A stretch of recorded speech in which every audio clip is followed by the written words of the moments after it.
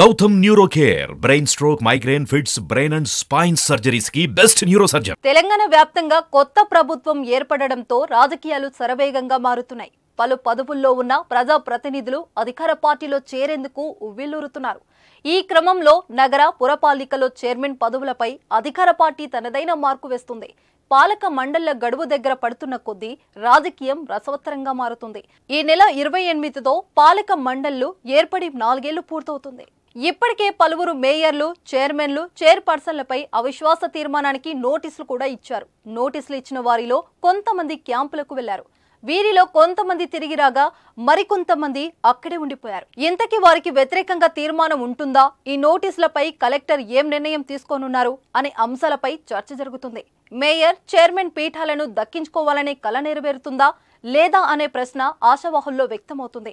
ఇచ్చిన నోటీసులపై ఒకవైపు తీవ్రమైన సందిగ్ధత కొనసాగిస్తుండగా మరోవైపు షాద్నగర్ నగర్ మున్సిపాలిటీలు బడంగ్పేట్ కార్పొరేషన్లలో ఆశావాహులు తెరవెనుక పావులు కదుపుతున్నారు. ఇక రాష్ట్ర వ్యాప్తంగా క్రేజ్ ఉన్న మేడ్చల్ మున్సిపాలిటీలపై మాజీ మంత్రి మల్లారెడ్డి పట్టు నిలుపుకునే పనిలో ఉన్నారు. అసమ్మితితో రగులుతున్న మేడ్చల్ మున్సిపాలిటీ బీఆర్ఎస్ కౌన్సిలర్లను మచ్చిక చేసుకునే ప్రయత్నాలు ముమ్మరమయ్యాయి. స్థానిక ఎమ్మెల్యే మల్లారెడ్డి కొంతమంది నాయకులు కౌన్సిలర్లతో కలిసి మంగళవారం దుబాయ్ వెళ్ళగా మరికొందరు బీఆర్ఎస్ కౌన్సిలర్లు మహిళా కౌన్సిలర్ల భర్తలు బుధవారం శంషాబాద్ ఎయిర్పోర్ట్లో ఫ్లైట్ ఎక్కారు. ఏడాది నుంచి మేడ్చల్ మున్సిపాలిటీ బీఆర్ఎస్ కౌన్సిలర్ల మధ్య అసమ్మితి చెలరేగుతుంది. చైర్మన్ గద్దె దించాలని అవిశ్వాస నోటీస్ ఇచ్చారు. గత అసెంబ్లీ ఎన్నికలకు ముందు నోటీస్ ఇవ్వడంతో అవిశ్వాస తేదీ ఖరారు కాలేదు.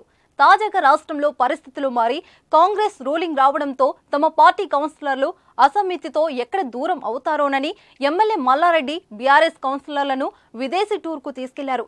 చూద్దాం మేడ్చల్ కౌన్సిలర్లకు మల్లారెడ్డి కౌన్సిలింగ్ ఏమాత్రం పనిచేస్తుందో.